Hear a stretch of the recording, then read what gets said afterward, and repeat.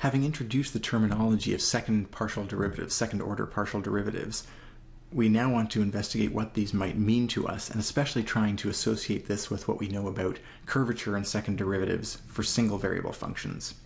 So, let's start off with a fairly simple example. z is equal to x squared minus y squared.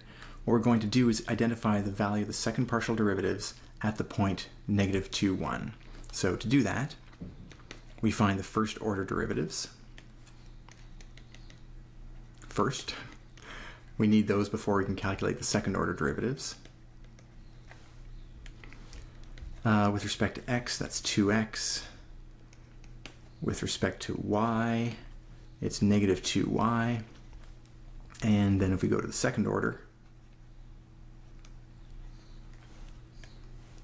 the second order derivative with respect to x, or with respect to x twice is what we're saying here, that's the derivative with respect to x of the x derivative. So we get two derivatives, and that gives us the value 2.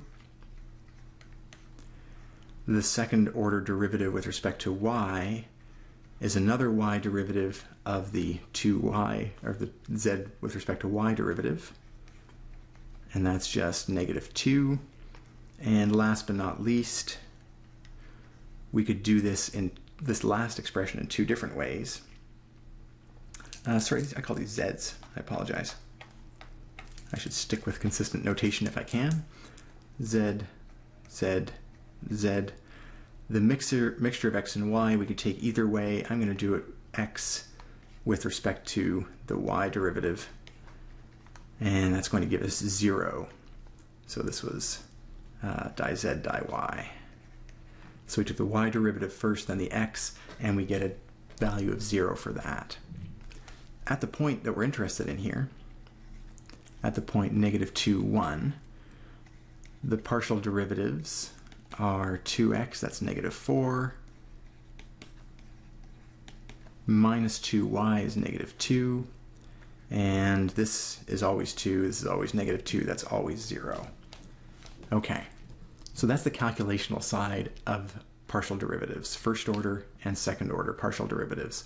Now what does this mean in terms of the surface that is defined by this function, z equals x squared minus y squared? Well, here's a picture. And we noted before that di z di x we found was negative 4, and di z di y was negative 2. What does that tell us? Well, at the point 2 sorry, 2, 1, negative 2, 1. So we're back a bit here, and then over. So we're at, on the plane x and y, we're at the point negative 2, 1. What we just said was that if we take a step in the x direction, we have a steepness or a slope. Let's do this in a more vibrant color here. A step in x, or each step in x, is downhill with slope 4, or negative 4 to be precise here. So it's fairly steep downhill. If we were to go in the other direction, in the y direction, then we would have a downhill slope.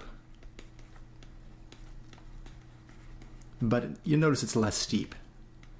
The slope there is negative 2, half the slope of the slope in the x direction. So we have a fairly nice interpretation, and fairly clear interpretation, I hope, of the meaning of these partial derivatives. When we take a step in x, what slope do we see? When we take a step, again, in positive y, this positive x and positive y, what slope do we see? What about the second derivatives? Uh, there's only two of them, the x second derivative and the y, pure y second derivative, that had some interpretation there. This value was positive 2, this had a value of negative 2. Well, think back to our original one variable functions. When we talked about second derivatives of those, we were talking about the curvature of the function. And we talked about the second derivative being positive, meaning concave up, and negative, meaning concave down. Does that make sense in this context here? I think it does, because this is keeping y constant, what is the rate of change of the x slopes? This is the rate of change of the x slopes as x increases. Okay, that can be translated into curvature. We think of the slope here at the point we're considering is negative 4, and then a little further on it's less steep, and then it's less steep still, less steep still. So the x slopes are increasing in value.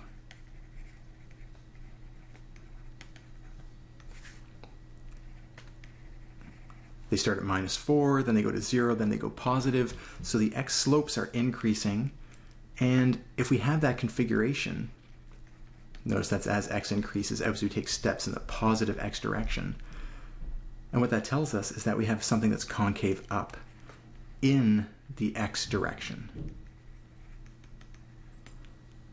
So I hope that makes sense. The idea of the second derivative here, all with respect to x, means that we're effectively leaving y out of the equation for a moment and asking what happens only in the x direction. Well then, what happens with this second partial derivative with respect to y?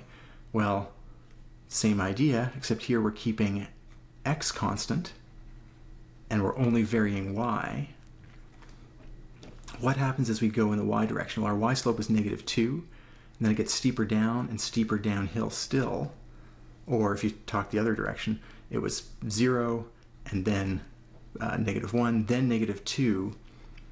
The y slopes are decreasing as y increases. And that corresponds to our second derivative, the rate of change of the y slopes being negative, or the shape being concave down, shape of the surface being concave down in the y direction. So our second derivatives with respect to x and y, the pure unadulterated second derivatives, all with respect to x, all with respect to y, I think are fairly straightforward to interpret given our understanding of single variable uh, second derivatives. So that's great. Basically, these two things mean concavities, and the only thing you have to keep in mind is they're concavities in the cardinal directions. The x second derivative is the concavity in the x direction, and it can be a totally different concavity if we were to slice the function uh, in the y direction.